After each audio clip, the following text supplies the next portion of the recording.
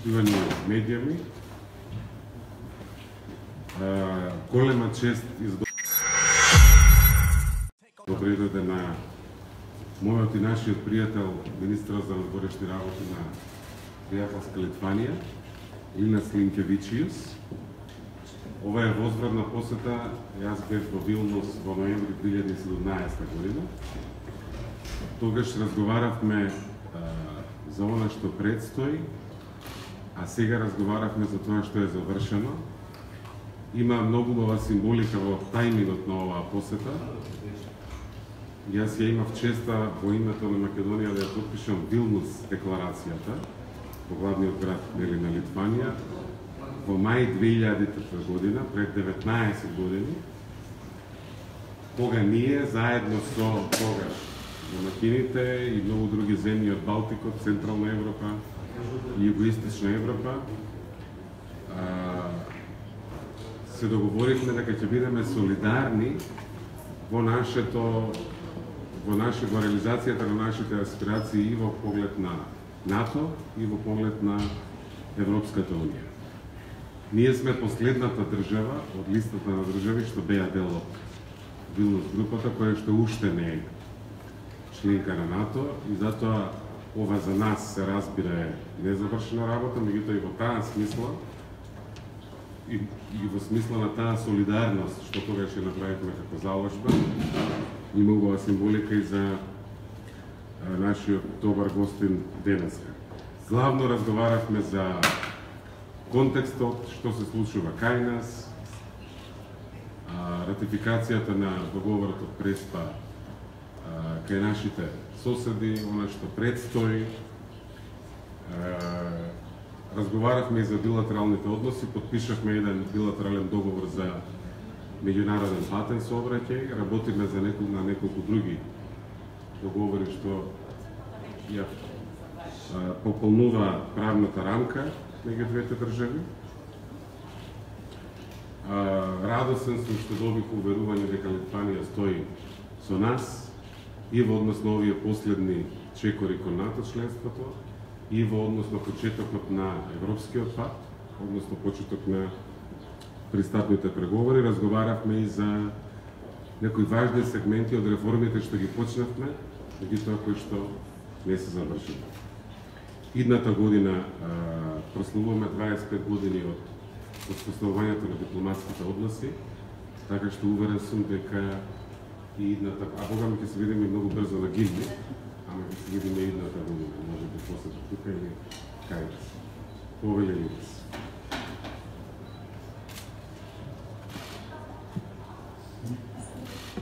Thank you, Nicola. I'm grateful to Nicola Dimitrov for uh, very good hospitality as always. Uh, it's nice to be back uh, in Skopje after five years. with very good positive news and very good timing. Uh, as Nicola mentioned, it's really indeed uh, this feel, was hard, feeling about this Vilnius stand, so to say, developments and was unaccomplished business basically. Now we are close to something which will happen finally, deserves to happen, and uh, this is not just a window of opportunities, it's a door of opportunities now for Macedonia. uh, but uh, needless to say, it's not a given. It's not a given. It would be wrong now to relax, of course, and Nicole and others uh, know quite quite well uh, that you should really keep keeping yourself quite busy in continuing the reforms in the sectors of, of anti-corruption, of judicial, and uh, everybody knows what to do. And uh, our task now to help you, uh, to assist, uh, and needless to say, Lithuania will be among those who will be as active as it is possible. We already signed the agreement on road transportation just before the our meeting. There are other agreements in the pipeline. Also, I believe we'll be able to address issues which are of importance, let's say like public administration or other, other areas, maybe, maybe cyber security. This is the issue which is always everywhere with some peculiarities, but it's everywhere, very important. Uh, I can say that Lithuania will be among the first who will ratify this, this agreement now parliament when it, will, it comes. I can say that we're already ready to, to sign protocol of accession in NATO. Uh, I, I, already explained why, because we feel it's our own also duty.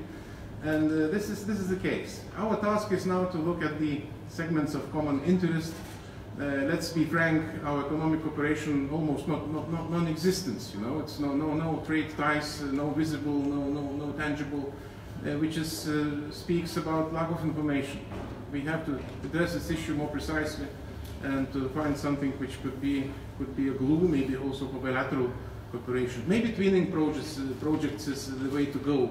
Uh, I'm really happy that we're very active in Balkans in general, but in Macedonia we also participated in 10 twin twinning projects dealing with very concrete fields with financial management, human resources, for instance, and, issue, and environmental issues. Uh, so it could be something to follow. This is also good to have know-how from European Union, resources also, and uh, as I said, additional glue for, bilateral ties and bilateral uh, cooperation.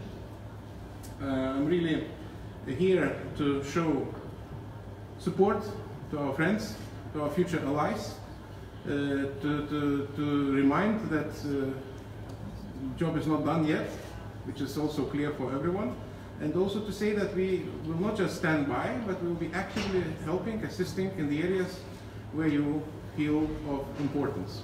So thank you, thank you very much. Благодаря.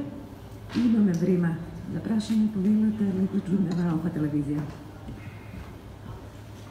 А, Кратко прашање до министрот Димитров. А, Вчера во јавноста излезе меѓународен документ за соработка на млади меѓу Македонија и а, Косово кој што бил изготвуван изминативе месеци, одобрен од владата на Косово во септември ми се чини. А каде што секаде сме веќе ослободени како Северна исто како и институциите институции на Северна Република Македонија. Дали сте запознавани со ова некој ваш коментар? Искрено да ви кажам, а, јас сакам секојаш да бидам отворен. Ја немам видено веста. И ако бев активен вчера делом на работа, Да немаме изнешаа нешто. нема, аха, Изнешаа. Една се проблема. Само не се обидам да.